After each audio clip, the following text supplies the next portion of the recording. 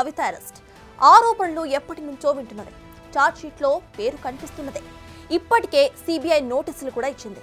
నిందితుల లిస్టులో పేరును కూడా చేర్చింది. ఈడీ మూడు సార్లు విచారించింది కూడా. ఈ రోజు సడన్గా ఇంటికి వచ్చేసింది. అరెస్ట్ చేసినట్లు ప్రకటించేసింది. ఇదంతా కూడా BRS MLC Kavitha Delhi liquor scam case quick recap. Scam జరిగిందంటున్నారు. వంద కోట్ల వరకు ముడుపులు కూడా ముట్టాయని అన్నారు. ఆధారాలు ఉంటాయని అంటున్నారు. కానీ ఇన్నాళ్ళు అరెస్ట్ మాత్రం జరగలేదు. ఎందుకలా? ఇప్పుడు లోక్సభ నోటిఫికేషన్ వెలువడే ముందు రోజు అరెస్ట్ చేయడం వెనుక అసలు రీజన్ ఏంటి? నిజంగా ఇది విచారణలో భాగమేనా? లేక దీని వెనుక అసలు కారణమేనా? వేరేవేమైనా ఉన్నాయా? ఈ అరెస్ట్ కేవలం కేసును మలుపు తిప్పుతుందా? లేక మొత్తం రాజకీయాలనే మలుపు తిప్పేస్తుందా? Delhi liquor scam Kalvakuntla Kavitha. ఈ రెండు పేర్లు కూడా చాలా రోజులుగా మనం న్యూస్లో వింటూ వస్తున్నదే. ఇక కవిత అరెస్ట్ ఖాయమని ఇప్పటికే ఎన్నోసార్లు లీకులు కూడా వచ్చాయి. కానీ ఇంతకాలం వాయిదాలను యాక్సెప్ట్ చేస్తూ వచ్చిన ఈడీ తీవ్రమైన చర్యలు ఏవీ కూడా తీసుకోబోమని సుప్రీంకోర్టులో ఇవాళ్ళ కూడా చెప్పిన ఈడీ అకస్మాత్తుగా కవిత ఇంట్లో ప్రత్యక్షమైపోయింది.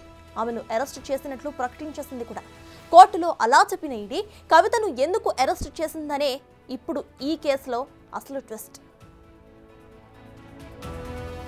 కవితను ఇరికించడం ద్వారా కేసీఆర్ను బెదిరించాలి అన్నది బీజేపీ ప్లానా? ఆధారాలు దొరక్క ఇబ్బంది పెట్టడానికే నోటీసులు విచారణ అంటూ హడావుడి చేస్తున్నారు. ఎన్నికల ముందు సోదాలు కూడా బీజేపీ కుట్రలో భాగం. ఈ కేసులో బీజేపీ కాంగ్రెస్ ఒక్కటైపోయాయి. ఇది బీఆర్ఎస్ నేతల వర్షన్ ఢిల్లీ లిక్కర్ స్కామ్లో కవిత పాత్ర ఖచ్చితంగా ఉంది. దర్యాప్తు సంస్థల నిబంధనల ప్రకారమే పనిచేస్తాయి. రాజకీయ జోక్యం కూడా ఉండదు. కవిత అరెస్ట్ కాక తప్పదు. ఇది బీజేపీ నేతల వర్షం. బీజేపీ బీఆర్ఎస్ నేతల చీకటి ఒప్పందం కారణంగానే అన్ని ఆధారాలు ఉన్నా కూడా కవిత ఇంకా స్వేచ్ఛగా తిరుగుతున్నారు. ఇప్పుడు విచారణ వెనుక కూడా భారీ కుట్ర ఉంది. బీఆర్ఎస్కు సానుభూతిని బీజేపీకి జనంలో క్రేజ్ పెంచేందుకు మాత్రమే ఈడీ కవిత ఇంటికి వచ్చింది. ఇది కాంగ్రెస్ నేతల వర్షం. ఏ పార్టీ నేతల వర్షం ఎలా ఉన్నా కూడా సడన్గా కవిత ఇంటికి ఈడీ అధికారులు రావడం మాత్రం ఈ కేసులో కొత్త ట్విస్ట్ అనే చెప్పాలి. ఒకసారి ఫ్లాష్ బ్యాక్లోకి వెళ్దాం.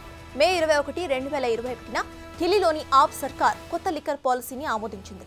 జూలై ఇరవై రెండు వేల ఇరవై ఒకటిన ఈ పాలసీలో అవకతవకలు ఉన్నట్టు కేంద్ర హోంశాఖకు ఢిల్లీ లెఫ్టినెంట్ గవర్నర్ ఓ లెటర్ను రాశారు.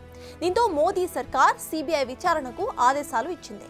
ఆగస్టు పంతొమ్మిదిన పదిహేను మంది పేర్లతో ఎఫ్ఐఆర్ను నమోదు చేయడం. పలు చోట్ల సోదాలు చేయడం చకచకా జరిగిపోయాయి. అయితే భారీగా ముడుపులు చేతులు మారాయన్న ఇన్ఫోతో ఎప్పుడైతే ఈడీ ఎంట్రీ ఇచ్చిందో ఈ కేసు అప్పుడే టర్న్ అయింది. ఈ కేసులో ముడుపుల మూలాలు హైదరాబాద్లో ఉన్నాయని గుర్తించింది. అరుణ్ పిళ్ళై అనే వ్యక్తిని నిందితుడిగా చేర్చింది ఈడీ. అక్కడ మారింది కవిత ఫేట్. అరుణ్ పిళ్ళైతో వ్యాపారం చేస్తే తనతో చేసినట్టే అని కవిత చెప్పటం వంద కోట్లు చేతులు మారినట్టు ఈడీ గుర్తించింది. ఇప్పటికే ఈ కేసులో నిందితుల లిస్టులో ఉన్న మనీష్ సిసోడియాతో పాటు ఎంతో మంది జైలుకు వెళ్ళిపోయారు ఇది కవిత కేసులో ఓవరాల్గా జరిగిన విషయం. కవితను ఈడీ ఇప్పటికే మూడు సార్లు విచారించింది. సాక్షిగా భావించి సిబిఐ కూడా రెండు సార్లు విచారించింది. అయితే సిబిఐ సాక్ష్యాలు లిస్టులో ఉన్న తన పేరును నిందితుల లిస్టులో చేర్చింది. ఫార్టీ వన్ ఏ కింద నోటీసులు కూడా జారీ చేసింది. ఫిబ్రవరి ఇరవై ఆరున విచారణకు కూడా రావాలని అంది. కానీ కవిత మాత్రం వెళ్ళలేదు. కారణం అప్పటికే ఆమె సుప్రీంకోర్టును ఆశ్రయించడం. మహిళ అని కూడా చూడకుండా రాత్రి సమయాల్లో కూడా విచారణ చేపట్టడాన్ని ఖండిస్తూ ఆమె సుప్రీంకోర్టు మెట్లెక్కారు.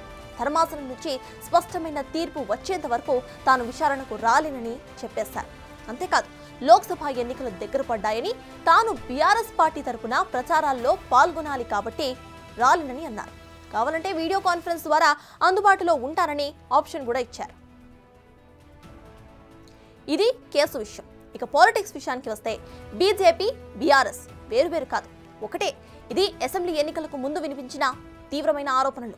కవిత అరెస్ట్ కాకపోవడమే దీనికి పర్ఫెక్ట్ ఎగ్జాంపుల్ అన్న ప్రచారం చాలాసార్లు విన్నాం. అప్పుడు పరిస్థితులు కూడా అలానే ఉండేవి. నిజంగా రెండు పార్టీల మధ్య దోస్తీ లేకపోతే అరెస్ట్ను అడ్డుకుంటుంది ఎవరు అనే ప్రశ్నలు కూడా వినిపించాయి.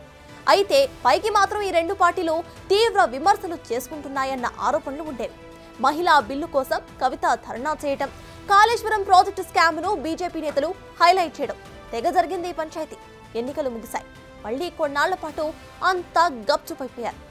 సరిగ్గా లోక్సభ ఎన్నికల నోటిఫికేషన్ వస్తుంది అనగా మళ్ళీ హడావుడి మొదలైపోయింది. నిందితుల లిస్టులో కవిత పేరు చేర్చడం విచారణకు రావాలంటూ నోటీసులు ఇవ్వటం చకచకా జరిగిపోయాయి. సుప్రీంకోర్టులో పిటిషన్ కొనసాగుతూ ఉండగా ఇన్నాళ్ళు పట్టించుకొని ఈడీ ఈ రోజు మాత్రమే విచారణ వాయిదా పడగానే హైదరాబాద్లో ల్యాండ్ అయిపోయింది. కవిత ఇంటి తలుపు తట్టింది. ఆ తర్వాత లాయర్స్ను కూడా లోనికి రానివ్వకుండా నాలుగు గంటల పాటు విచారించింది. స్టేట్మెంట్ రికార్డ్ చేసింది. చివరికి అరెస్ట్ కూడా చేసింది. మరి ఈ అరెస్ట్ విచారణలో భాగంగా జరిగిందా? లేక రాజకీయ అవసరాల కోసం జరిగిందా? తెలియదు కానీ రేపు ఎన్నికల నోటిఫికేషన్ రాబోతుంది. ఇప్పటికే బీఆర్ఎస్ నేతలను ఆకర్షించే పనిలో బీజేపీ పడింది. ఎలాగైనా ఎక్కువ సంఖ్యలో సీట్స్ గెలుచుకోవాలి అన్న కసిలోనే ఉన్నారు కమలనాథులు. మరోవైపు ప్రధానమంత్రి నరేంద్ర మోదీ భాగ్యనగరంలో ల్యాండ్ అయ్యారు. రేపు నాగర్ కర్నూల్లో బహిరంగ సభను కూడా నిర్వహించబోతున్నారు. ఇవన్నీ కూడా వేరువేరు అంశాలే. అయినా కూడా ఎందుకో ఒకదానికి ఒకటి లింక్ ఉన్నట్టే కనిపిస్తున్నాయి. ఇప్పుడు ప్రధాని మోదీ స్పీచ్లో లిక్కర్ స్కామ్ హైలైట్ అయితే ఈ అనుమానాలు మరింత బలపడతాయి. ఎన్నికల నేపథ్యంలోనే అరెస్ట్ జరిగిందనే వాదన మరింత స్ట్రాంగ్గా వినిపిస్తుంది. అయితే ఈ అరెస్ట్ బీజేపీకి లాభం చేకూరుతుందా? లేక బీఆర్ఎస్కు ప్లస్ అవ్వబోతుందా అనేదే ఇప్పుడు హాట్ టాపిక్